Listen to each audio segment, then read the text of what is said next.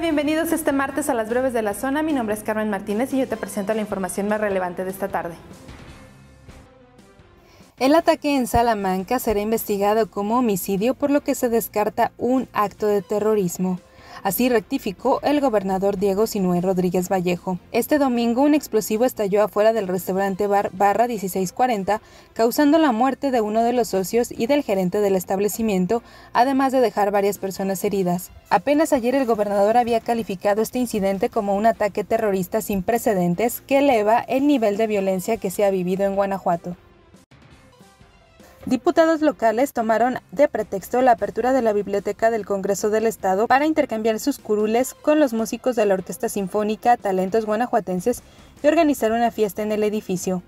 Media hora antes de lo programado en el inicio del festín de los diputados, sin que se avisara por alguna vía a los representantes de los medios de comunicación, se realizó este evento donde se contó con la presencia del gobernador Diego Sinué Rodríguez Vallejo, Diputados acompañados de sus familias y representantes del Poder Ejecutivo y Legislativo estuvieron en un concierto de casi dos horas en el que se interpretó música popular. Posterior al recital musical se dio paso a un brindis en el lobby del Congreso. El Estado ocupa el octavo lugar nacional en casos activos por COVID-19 con 4.505 y se mantiene en semáforo de reactivación en amarillo con alerta.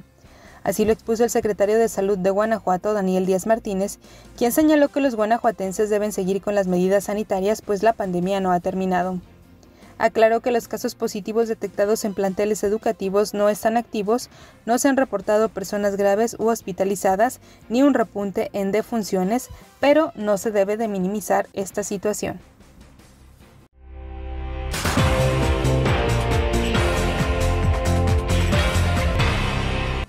Checa todo nuestro contenido a través de zonafranca.mx y a través de nuestras redes sociales.